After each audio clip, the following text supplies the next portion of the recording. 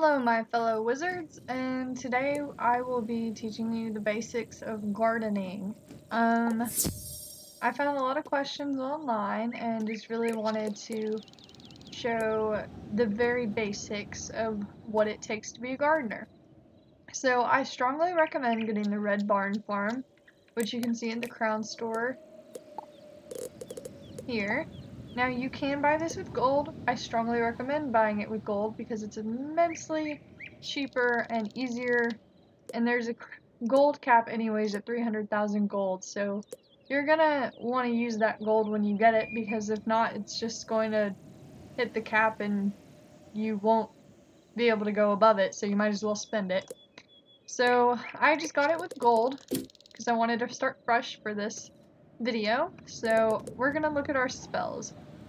Now, you'll notice that I'm a rank 8 wizard as seen above here, but that doesn't necessarily mean I have all of the spells that come with being rank 8 because I haven't learned them yet. So, I'm an adept gardener, so some of the starter spells you'll get is small soil, medium soil, and one of the upper level ones is an enchanted large soil. I haven't gotten regular large soil yet, or the other enchanted soils, so I am a bit limited on what I can plant. So, we're going to look at our seeds. So I have a couple of different types of seeds to show you today. So, one of the basic ones is a dandelion. So, as you see, there are rewards, challenge, likes, dislikes, and requirements, and your rank requirement, of course. So if you are at least rank 1, you will be able to plant this spell. Or this seed, sorry. So we're going to go small soil, place it wherever we like.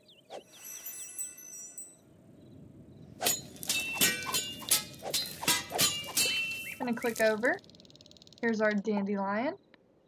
We're going to click it in the middle so that it lines up and plant. Okay, so now we'll see that it is a progress to young, so that means that it'll turn into a young plant after it's reached that level. So that takes time, and as the seed grows, it'll start to have needs and pests. Since it is a level 1 difficulty in growing, it's not going to have as many needs or pests as other spells. And if you'll notice, it says likes equals this house. The Red Barn Farm counts as a like for plants, and that makes them grow better. I think that it's been decided that it's about a 15% growth, so that is quite significant if you're planting a lot or just a little, it does make a difference. So we have a dandelion right here. I recommend keeping your plants around other plants that are similar to it so naturally I'd want to put another dandelion right next to it, but I don't currently have one in my inventory.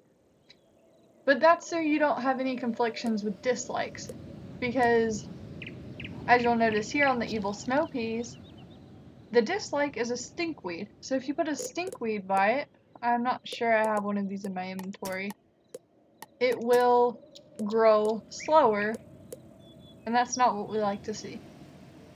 So then as you see, some of the seeds have smaller rewards for the challenge that it takes.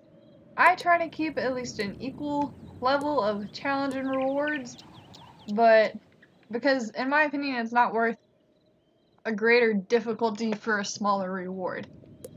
One of the most commonly farmed plants is couch potatoes, and that's because they can give mega snacks and some other really cool things.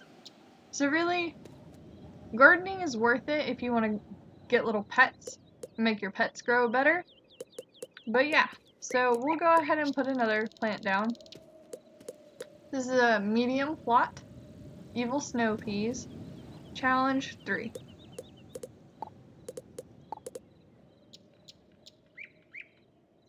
Trying to make it kind of even. That'll work.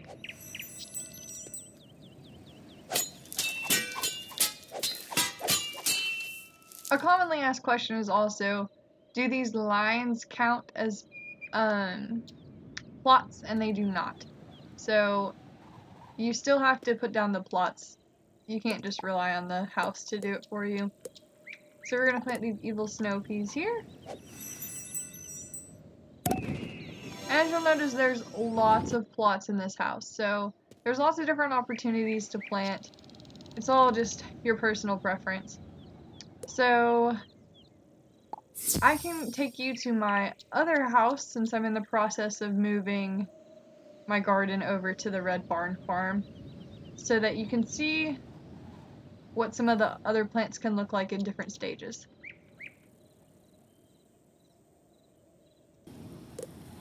Alright guys, we're back and we are at my massive fantasy palace, so we're gonna look at what I have going on in my garden right now. So I got some baby carrots, they're progressing to elder. We talked about this before when we said progress to young. So once it becomes an elder, it's pretty much harvestable, but they don't typically grow if they have needs. So this is an example of needs. So it says needs music, and there's a little music note above it right here. So what we're going to do is we're going to go over to music, flute solo, and we're going to click on the baby carrot. Gonna hear the little tune. And now that need goes away. So they're happy. Another thing to consider is sometimes when you get these upper level spells, provides music for a large area. Now what I typically do to decide whether or not it's worth the energy that it takes because you're using your energy here with gardening. So 15 energy for this spell, right? So I want to make sure that it's covering at least five plants that need music. Because if not, you're wasting energy. Because this spell costs three energy. So if it's not at least covering what it would take to do it individually, I don't typically do it because that energy can be used for other things. So another thing to consider is things do have multiple needs at the same time. So this one needed sunlight and music. So we're going to also give it some sunlight. And you'll notice it says time until harvest. That's important because you can harvest your plants at that time. You want to make sure that you keep track of your plants during this time period so that you can harvest them. The last thing of this video that I'll be showing you is pests. So there's all kinds of different pests that can invade your plants at different times. So we want to see all the plants that we have that have pests. So this one has a lightning bugs, which is a rank 2 pest. So that means that we immediately cannot use our rank 1 spell because it will not kill the rank 2 pests.